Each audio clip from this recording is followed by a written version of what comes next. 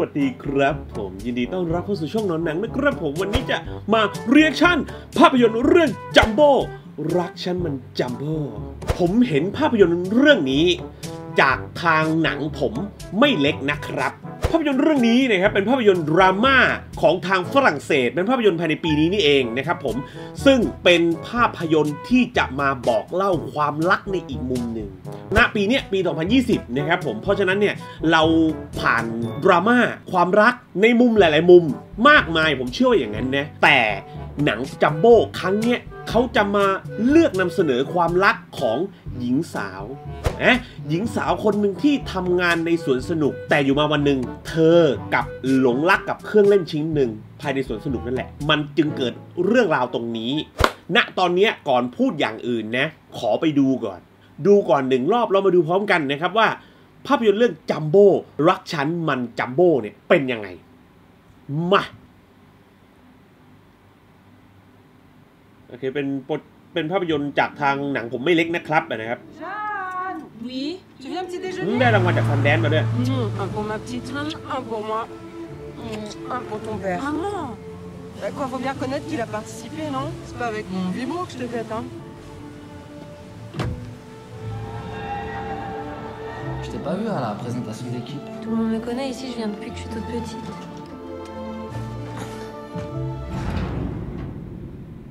Y a quelqu'un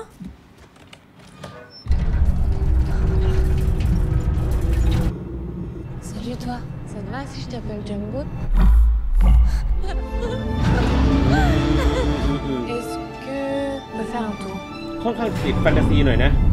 แฟนตาซีในระดับหนึ่งอ่าอ่าพอจะเก็ตพอจะ J'aimerais เก็ต bien ครับ parler de พอ quelqu'un. จะเก็ต Il est où Ici. ไอ้ความแฟนตาซีเรื่องความรักระหว่าง C'est นาง pas เอก pour กับ du เครื่องเล่น sexe, น่ะ c'est autre อาจ chose. จะสร้างมาเพื่อขยาย สร้างมา Je เพื่อ ressens des ภาค choses ข que ยาย j'ai jamais ของความ ressenties รู้ pour สึก personne. Ça t'amuse de te foutre de moi ou t'es juste complètement malade dans ta petite tête Et tu vas อ่า où โอเคประเด็นบูลลี่ C'est juste qu'il me rend heureuse. Sors de chez moi. Sors de chez moi.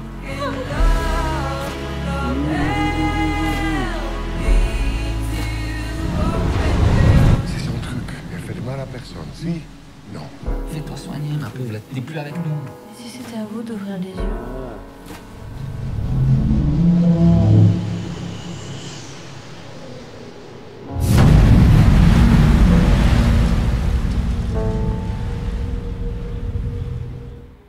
12 สิงหาคมนะครับผม 12 สิงหาคมเดือนนี้แหละ นะครับจัมโบ้รักฉันมันจัมโบ้ต้องบอกงี้ก่อนว่า พอผมเห็นตัวอย่างปั๊บเนี่ย เห็นแล้วว่าเขาต้องการจะนำเสนอความรักครั้งนี้ออกมาในท่วงท่าและลีลาแบบไหน ขอแวะไอ้เรื่องที่ผมบอกแฟนตาซีก่อนคำว่าแฟนตาซีที่ผมพูดถึงเนี่ยสำหรับผมนะแฟนตาซีมันมีระดับ ไอ้ระดับของความแฟนตาซีเนี่ยมันถูกสร้างขึ้นเพื่อการสื่อสารเพื่อความเข้าใจ ลองนึกภาพว่าภาพยนตร์เรื่องนี้ มันจะไม่ใช่แบบไซไฟมันจะไม่หลุดขนาดนั้น ผมเชื่อนะว่ามันจะไม่หลุดขนาดนั้น แต่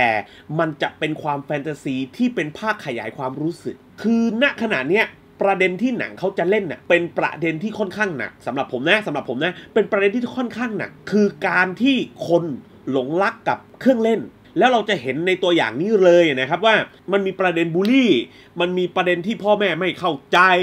ถูกหาว่าบ้าหรือ เปล่า ประเด็นที่สังคมถีบนะครับสังคมไม่ว่าจะเป็นเพื่อนที่ทำงานรอบตัวที่บ้านต่างๆเนี่ยสังคมรอบตัวเธอมันถีบเธอออกมา ทุกคนมองว่าเธอ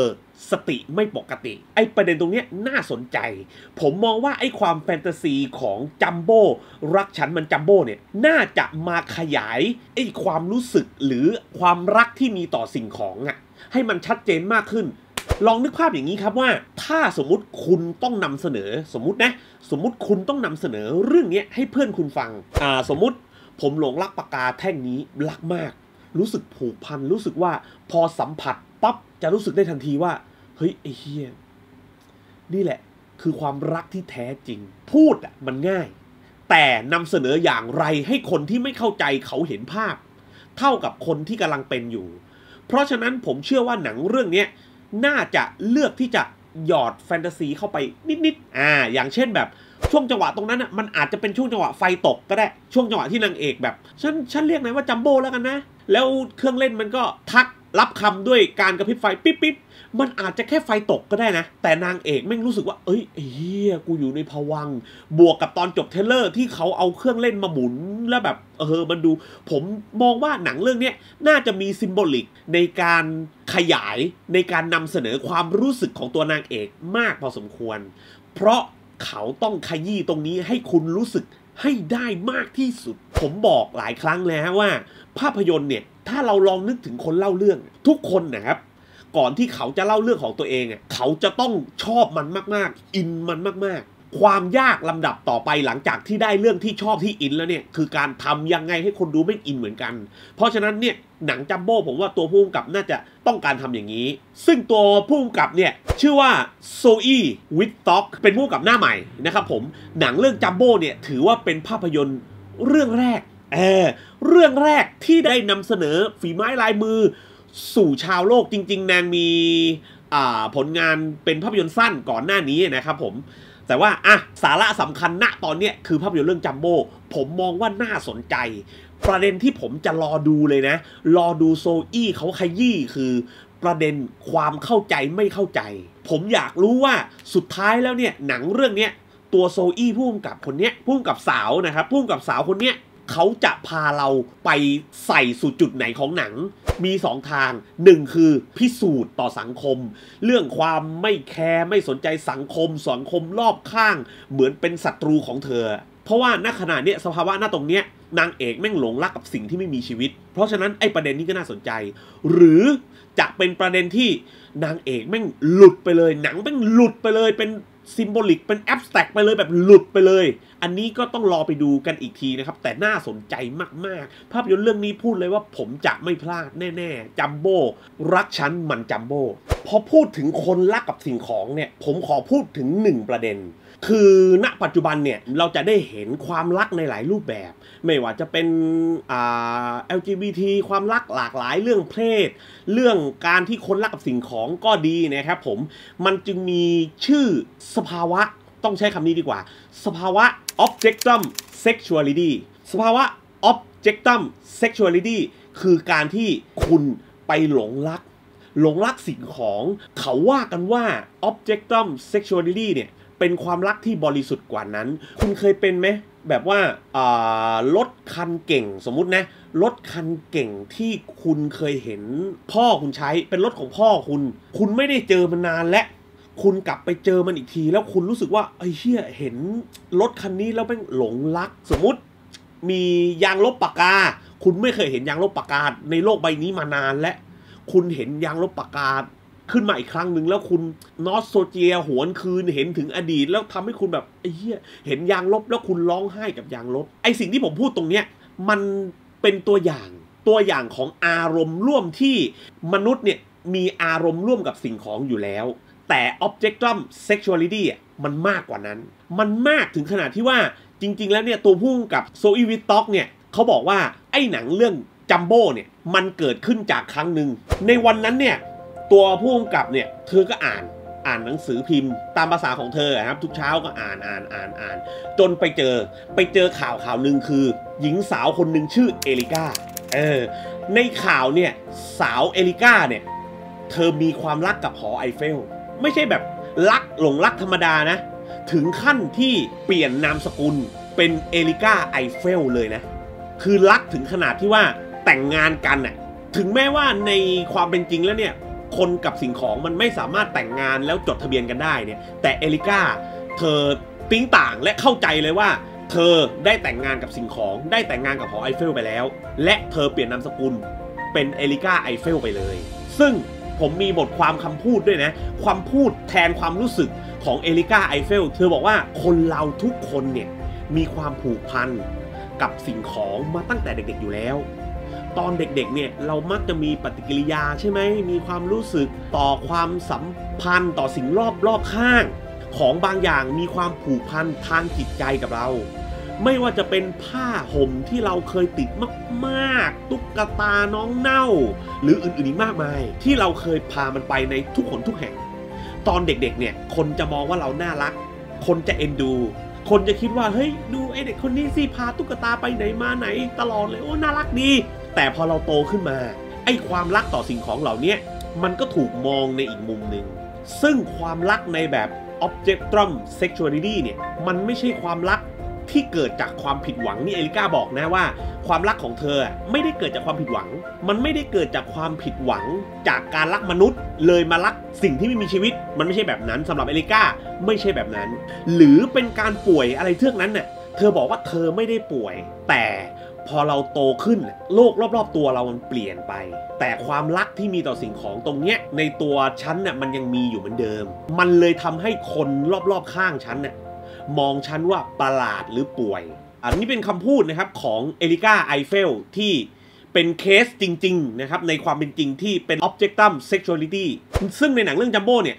ก็จะพูดถึงสภาวะคนที่ มีอาการ objectum sexuality นี่แหละ จริง ๆ นอกจากเอลิก้าที่หลงรักกับหอไอเฟลแล้วเนี่ย ยังมีอีกคนเหมือนกันนะ ที่เป็นเคสที่น่าสนใจในกลุ่มที่มีสภาวะ objectum sexuality ก็คือ Carol Santa Fe ตัว Carol Santa Fe เนี่ยเป็นหญิงสาวชาวอเมริกันวัย 45 ปีนะครับผม เรื่องราวของเธอเนี่ย ก็คือเธอเนี่ย หลงรักกับสถานีรถไฟ สถานีรถไฟที่เป็นคู่รัก ของแครอลก็คือสถานี Santa Fe Train Station นะครับผม ซึ่งในกรณีเนี้ยตัวแครอลเนี่ยตั้งชื่อให้คู่รักของเธอก็คือสถานีรถไฟนะครับเขาตั้งชื่อให้คู่รักของเขาด้วย เขาจะเรียกสถานีรถไฟเซนตาเฟ่ว่าไดดราเธอบอกว่าตัวเธอกับไดดราเนี่ยหลงรักกัน รักกันแบบที่ไม่มีใครจะมามอบให้เธอได้ ในกรณีของแครอนะครับ เธอบอกว่าการรักกับไดดราเนี่ย เป็นการรักที่ฉันรู้เลยว่าไดราจะไม่มีวันทิ้งฉันไปไหนและแครอจะใช้เวลานะครับ ทุกวันนะ 45 นาทีนั่งรถจากบ้านของเธอ มาที่สายรถไฟเซนตาเฟ่เพื่อมาหาไดราก็คือสายรถไฟนี่แหละ เธอจะใช้เวลาหลายชั่วโมงอยู่กับไดราโดยการเดินไปรอบๆทุกจุดของสานีรถไฟ แต่เธอก็บอกว่า เธอจะพยายามไม่แสดงอาการที่ดูประหลาดต่อคนรอบข้าง ต่อสายตาทุกๆคน เพราะว่าเธอกลัวแค่อย่างเดียวว่า พนักงานจะห้ามเธอเข้ามาหาไรดราอีก คือกรณีของแครอลเนี่ยเธอมีเซ็กส์กับสถานีรถไฟด้วย เธอบอกว่าวิธีการมีเซ็กส์กับไรดราเนี่ยคือการที่เธอยืนพิงกำแพง อยู่กับสายรถไฟ ทุกครั้งที่เธอสัมผัสไรดราเนี่ย เธอจะมีความรู้สึกถึงความรักที่แท้จริงที่ไรดรามีให้เธอ และเซ็กส์มันจะเกิดขึ้นในจินตนาการของเธอ เธอจะจินตนาการว่าไดราเนี่ยเป็นคู่รักของเธอ เราอยู่ด้วยกันและมีเซ็กซ์กัน และอีกอย่างหนึ่งคือแครอเข้าใจว่าไดราเป็นผู้หญิง คือนอกจากไดราจะเป็นสายรถไฟแล้ว ยังเป็นเพศหญิงอีกด้วยนะครับผม อันนี้ไม่ไม่รู้เหมือนกันนะว่าแครอรู้ได้ไง แต่เธอเชื่อว่าสายรถไฟ Santa Fe Train Station เนี่ยคือเพศหญิง แล้วเธอหลงรักสายรถไฟที่เป็นเพศหญิง อันนี้ก็จะลึกซึ้งกว่าที่แม่งหลงรักหอไอเฟลเข้าไปอีกระดับหนึ่งนะครับผม เพราะฉะนั้นพูดมาถึงจุดนี้เนี่ย ผมมองว่าหนังภาพยนตร์เรื่องจัมโบ้เนี่ยเอาจริงๆแม่งน่าสนใจมาก แต่ผมแค่เป็นกังวลอย่างเดียว ว่าหนังเรื่องจัมโบ้รักฉันมันจัมโบ้เนี่ยกลัวจะเกรงใจคนดูมากเกินไป มันยังมีกลิ่นของความไม่เข้มข้น หรือตัวอย่างทำให้ผมรู้สึกไม่ได้ก็ไม่รู้นะ เพราะว่าต้องบอกก่อนว่าตัวอย่างนี้เป็นหน้าที่ของฝั่ง marketing นะครับผม เพราะฉะนั้นเนี่ยผมไม่แน่ใจว่า ณตอนเนี้ยตัวอย่างมันยังทำให้ผมรู้สึกเศร้าขนาดนั้นไม่ได้ หรือภาพยนตร์มันจะเศร้าขนาดนั้นไม่ได้จริง ๆ เข้าใจไหมฮะ เพราะฉะนั้นเนี่ยเดี๋ยวเราต้องไปรอดูภาพยนตร์เรื่องจัมโบ้นี่ผมไปดูแน่ๆ และหวังด้วยนะ หวังว่ามันจะ dark เอางี้ dark ให้เท่า Nymphomaniac ไหมแต่ว่าไม่ใช่เรื่องเซ็กซ์ขนาดนั้นนะหมายถึงว่า เรื่องความกดดันเรื่องความนำเสนอตัวละครนำเสนอสภาวะในจิตใจ ให้มันออกมาเข้มข้นชัดเจน ตอน Nymphomaniac เนี่ยมัน dark dark มาก แต่ไอความเข้มข้นชัดเจนอะผมอยากได้ประมาณนั้น แต่อาจจะไม่ได้ dark ขนาดนั้นหรอก มันอาจจะอ่าเป็นหนังดราม่าหนังเรื่องจัมโบ้เนี่ยมันอาจเป็นหนังดราม่าที่ดูง่ายกว่านั้น แต่ นำเสนอสภาวะจิตใจอะผมอยากได้ขนาดนั้นเลย ก็ต้องรอดูอีกทีนะครับผมวันที่ 12 สิงหา ใครสนใจก็เดี๋ยวรอเลย รอ 12 สิงหาเดี๋ยวไปดู รีวิวแน่นอน หนังเรื่องจัมโบ้รักฉันมันจัมโบ้ใครอยู่แถวเมเจอร์รัชโยธินแน่วันที่ 12 สิงหาเจอผมแน่นอน เอางี้ดีกว่าอะยังไงซะเนี่ยก็ฝากไว้ด้วยนะครับผมเพจหนอนหนังนะครับ ทั้งใน Facebook และ YouTube นะครับ ฝากกดไลค์กด Subscribe เยอะๆนะครับผมและสุดท้ายฝากเหมือนที่ฝากทุกครั้งเลยคือภาพยนตร์ทุกเรื่องนะครับ ไม่ว่ามันจะดีจะเฮี้ยจะเป็นหนังที่โคตรประทับใจหรือเฮี้ยจับใจก็ตาม ภาพยนตร์ทุกเรื่องนะครับ มันเป็นงานศิลปะที่มีคำว่า entertainment เพราะฉะนั้นมันสร้างขึ้นเพื่อความบันเทิง คุณจะรู้ได้ไงว่ามันบันเทิงหรือมันเข้ากับคุณได้ไหมมันสนุกหรือเปล่า ก็ต้องไปดูเองไงคุณก็จะได้พูดได้เต็มปากว่าภาพยนตร์เรื่องนั้นมันคุยกับคุณหรือเปล่า แต่สำหรับวันนี้ลาไปก่อนครับ ผมสวัสดีครับ